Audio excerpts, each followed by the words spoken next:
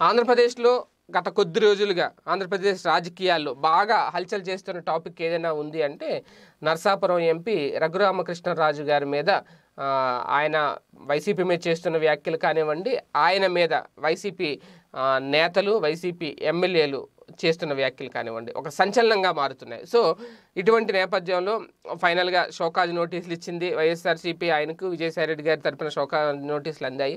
ఆయన ఆ షోకాజ్ నోటీసుల మీద సంబంధించి అది సరైన విధానాల్లో లేవు అని చెప్పి ఆయన ఆరు పేజీలు లేఖ రాయడం జరిగింది. ఇదంతా జరుగుతున్న ఎపిసోడ్. ఇదే నేపథ్యంలో తాజాగా ఎంపీలందరూ కలిసి లోక్సభ స్పీకర్ ఓం బిర్లా గారికి లేఖ రా లేఖ సమర్పించారు. ఆయన మీద అనర్హత వేటు వెయ్యాలి అనేది. ఎందుకంటే ఆయన పార్టీ మీద ఎటువంటి ధిక్కార స్వరం వినిపించారు. పార్టీ క్రమశిక్షణా చర్యలకు పూర్తి విరుద్ధంగా ప్రవర్తించారు అనే దానికి సంబంధించి వంద పేజీల లేఖతో వంద పేజీల వంద పేజీల లేఖను కూడా ఏమో ఒక పుస్తకం ఏమో వంద పేజీల లేఖను రాసి స్పీకర్కి సమర్పించడం జరిగింది. ఆయన మీద ఇమీడియట్గా అనర్హత వేటు వెయ్యాలి అని చెప్పి.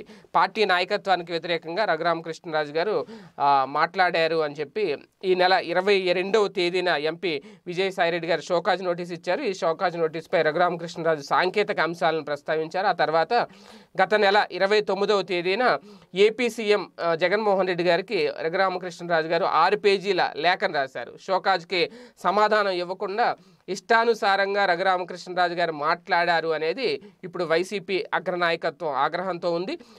ఈ నేపథ్యంలోనే పార్టీ వ్యతిరేక కార్యకలాపాలకు పాల్పడినందుకు గాను అనర్హత వేటు వేయాలి అని కోరుతూ లోక్సభ స్పీకర్కు వంద పేజీల లేఖ సమర్పించడం జరిగింది. ఎంపీలందరూ కూడా ఆ, రఘురామకృష్ణరాజు గారి మీద ఫిర్యాదు చేసిన వాళ్ళల్లో విజయసాయిరెడ్డి గారితో పాటు లోక్సభ పక్ష నేత మిథున్ రెడ్డి అలాగే ఎంపీలు నందకం సురేష్ లావు శ్రీకృష్ణదేవరాయలు మార్గాన భరత్ వీళ్ళందరూ కూడా ఉన్నారు. అయితే ఇప్పుడు ఏం జరగబోతుంది అనేది చాలా ఆసక్తికరంగా మారింది. దీని మీద ఇమీడియట్గా యాక్షన్ తీసుకునే అవకాశం ఉంటుందా? అనర్హత వేటు వస్తుందా? లేదంటే వైఎస్ఆర్సీపీ నెక్స్ట్ ఏం చేయబోతోంది అనేది. ఎందుకంటే ఇప్పటికే భారతీయ జనతా పార్టీలోకి వెళ్ళేందుకే ఇదంతా చేస్తున్నారు అనే ఒక ప్రచారం జరుగుతుంది. అది వాస్తవమా లేదంటే అవాస్తవం అనేది కాలమే నిర్ణయించాలి. ఇలాంటి సందర్భంలో లోక్సభ స్పీకర్ నుంచి వేటుపడే అవకాశం ఎంతవరకు ఉంటుంది? ఒకవేళ అలా కాని పక్షంలో వైసీపీ నెక్స్ట్ ఏం చేయబోతుంది ఏంటి అనేది కూడా వేచి చూడాల్సిన అంశం. ఈ వీడియో గనుక మీకు నచ్చినట్లయితే లైక్ చేయండి షేర్ చేయండి. మరిన్ని వీడియోస్ కోసం మా ఛానల్ను సబ్స్క్రైబ్ చేయండి.